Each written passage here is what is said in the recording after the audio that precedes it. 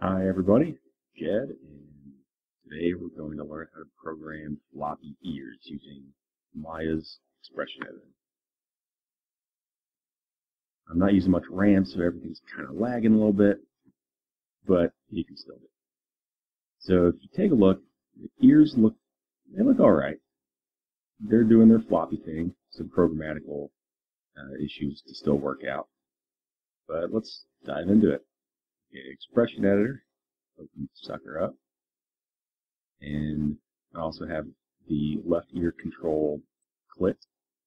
And now diving into the rotate Y value, just plugging all this stuff, but here is the bit of coding that makes the biggest difference. Uh, it gets the attribute of frame minus 3. So whatever the current frame is, minus 3 it's feeding that value in. And I've also set up a drive switch on this, um, just a simple uh, 0 to 1 float variable. So we can kind of tune it in a little more um, with either 0 drive or 100%. And as you can see, when it's turned off, on the right ear, it doesn't do anything at all, but the left ear continues to flop. Pretty cool. And I also set it up as a key-driven object, so we can go in and set up keyframes and kind of determine whether or not it's going to flop when we want it or not. And you can do partial values between 0 and 1 to kind of tighten it up a little bit. I should probably set that to 0 to 5 so we can get some massive ear flops going.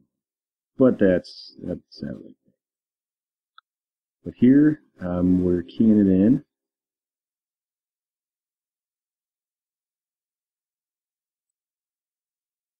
Just to show that it can be done. And it's pretty handy. I don't know why you'd want to use this, but it's an option now. And that's always good.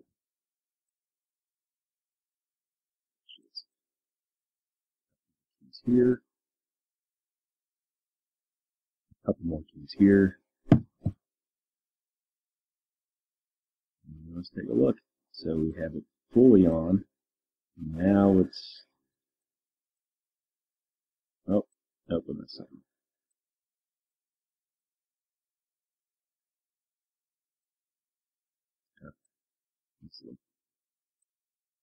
Alright, so it looks, nope, there it goes kind of stiffened up a little bit between 60 and 80 and 105 and 110.